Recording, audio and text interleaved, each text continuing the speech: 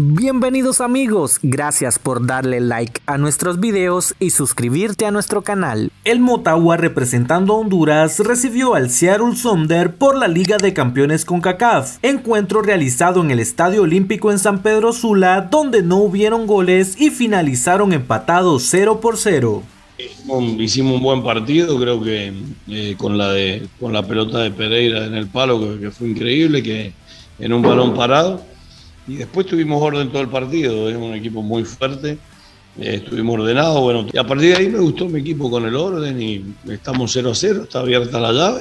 Lógicamente que tenemos que hacer un partido igual o mejor que, que el de esta noche allá en Seattle para, para poder avanzar, pero eh, fuimos muy competitivos ante, ante un gran equipo como, como es Seattle. Todavía tengo que ver el partido, ya tenemos más, mucha más información para analizar a partir de que de conocer los manos, es lo mismo ver, ver videos y ver los, la tele que, que, que en vivo, son cosas totalmente diferentes. Entonces a partir de ahí tenemos mucha más información.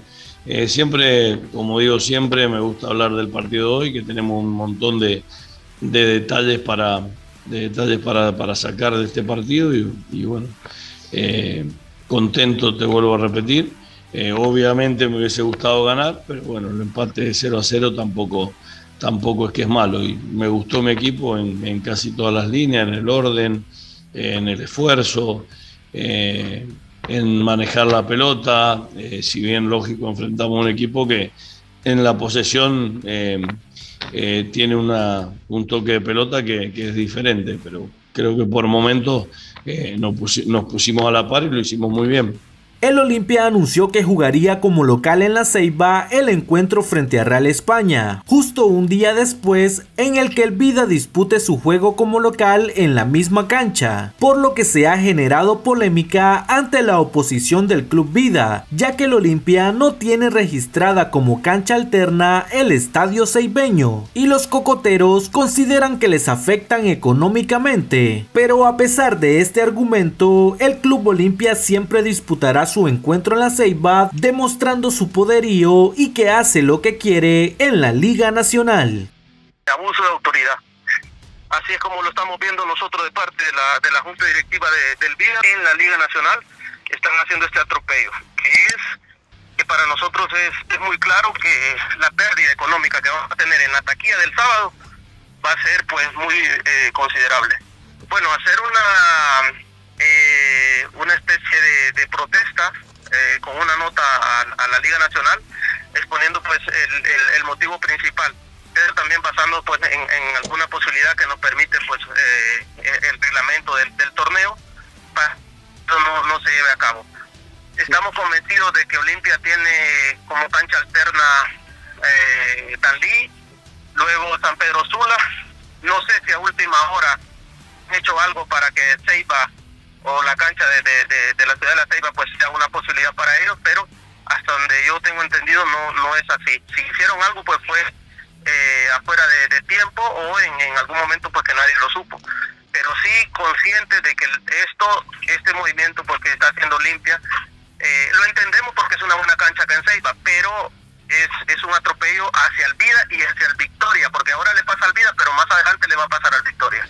Después de la salida del mexicano El Potro Gutiérrez, el Real España anunció a Héctor Vargas como nuevo director técnico. El argentino ya se puso manos a la obra tras la llegada a su tercer equipo de los cuatro denominados grandes en Honduras.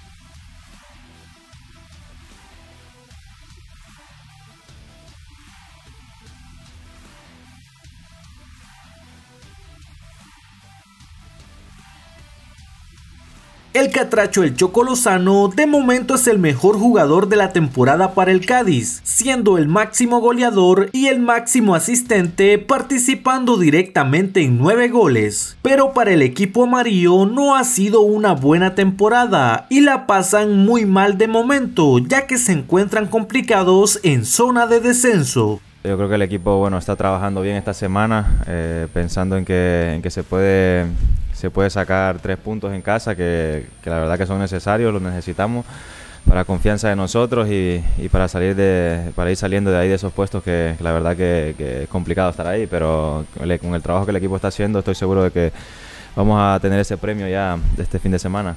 Como todo delantero uno quiere que la pelota entre, pero bueno, este, en esta ocasión no, no fue así esperemos que este fin de semana pues pueda tener alguna oportunidad si, si me toca jugar y, y, que vaya para adentro, ¿no? Este, todos estamos eh, con esas ganas y con esas ansias de, celebrar en casa. Eh, no hemos tenido en este, en este año la oportunidad, este torneo no, no la hemos tenido. Eh, pero sí te vas con ese, con ese sabor de que pudo haber entrado y no entró, pero bueno, esto es fútbol, ¿no? Unas veces entran, otras no. Esperemos que el próximo, la próxima oportunidad que tenga pues vaya para adentro. Amigos, muchas gracias por ver nuestros videos. Recuerden suscribirse a este canal si aún no lo han hecho, darle like y dejarnos en un comentario su opinión sobre los temas mencionados en este video.